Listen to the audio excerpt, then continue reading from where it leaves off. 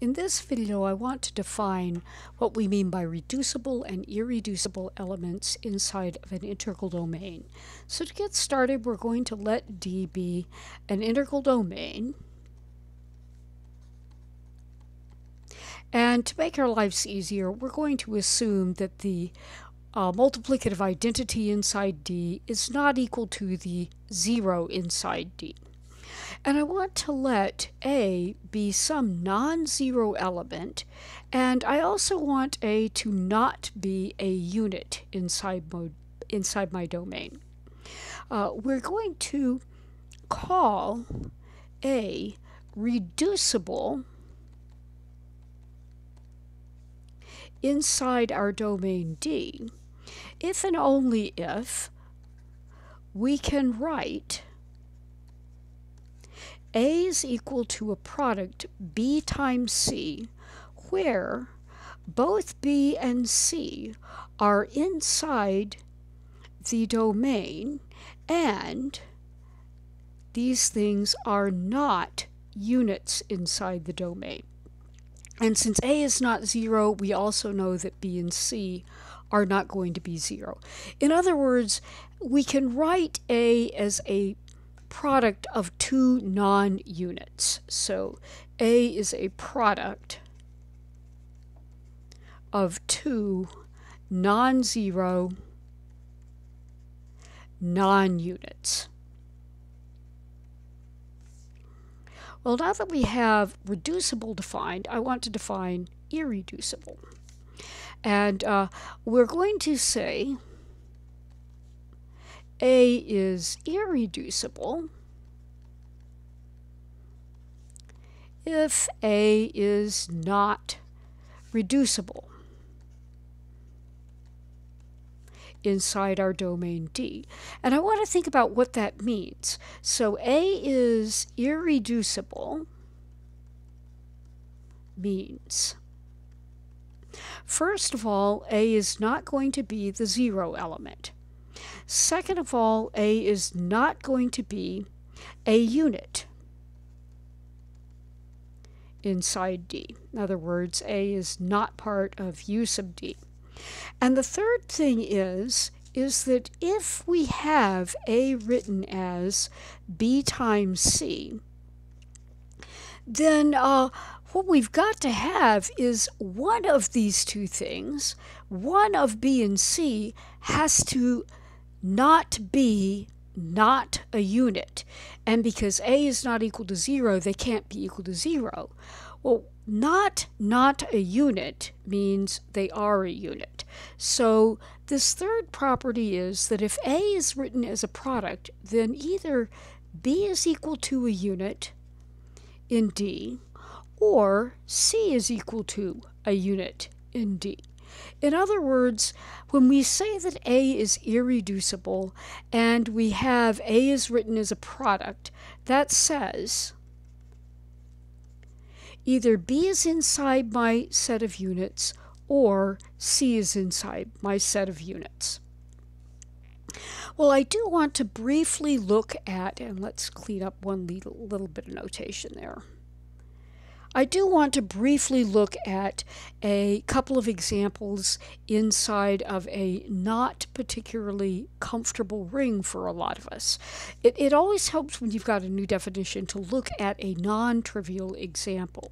So let's let our domain be the uh, ring of integers localized at, uh, let's say, 2. Now, this, of course, is the set of fractions that look like a over b, where we know that b has to be an odd integer. And we've looked at this ring in, in, the, in a previous video. Uh, what I want to do is I want to look at a couple of examples. Uh, 4 ninths clearly belongs to D, and uh, 4 ninths can be written as two thirds times two thirds. And um, neither one of these elements are units. I want to remember that from previous video, the units inside this domain are the fractions that look like a over b, where both a and b are odd integers. So here is 4 ninths written as a product of two non-units. In other words, with this definition, it's easy to see that uh, 2 thirds is not one of our units in this particular ring. And so this is enough to say that 4 ninths is reducible. Let me erase that.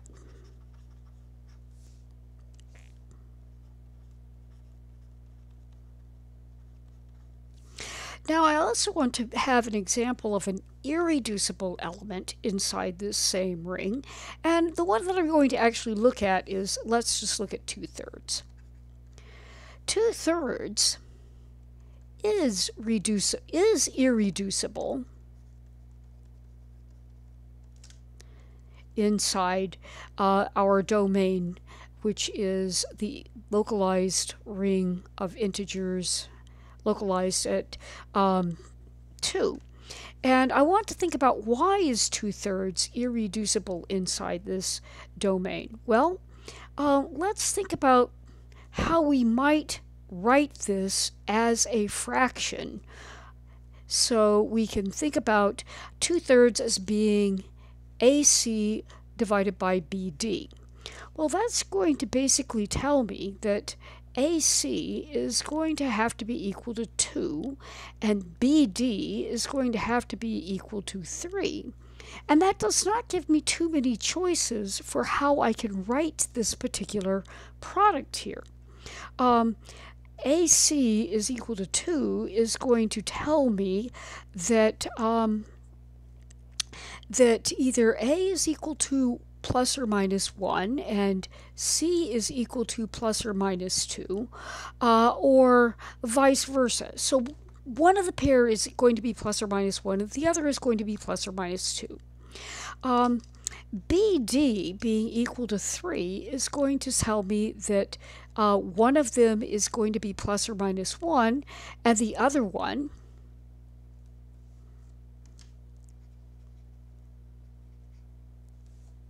is going to be plus or minus 3. Well, the upshot of this is, is that there are not very many lowest term fractions that we can use as this product. Uh, we can think about writing 2 thirds as one of the following uh, products. We could think about it as being uh, we could have a 1 over a 3 paired with a 2 over a 1.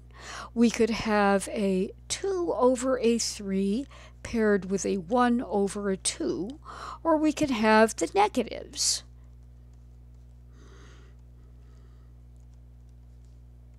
And this actually exhausts all of the um, possibilities. And actually, I have a small mistake there. That should be a 1.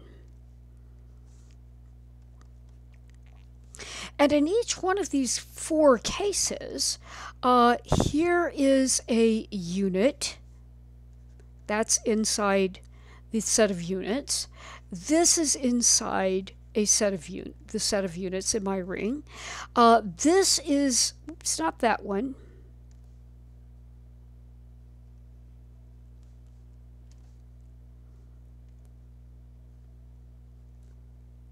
This is inside my set of units, and this is inside my set of units.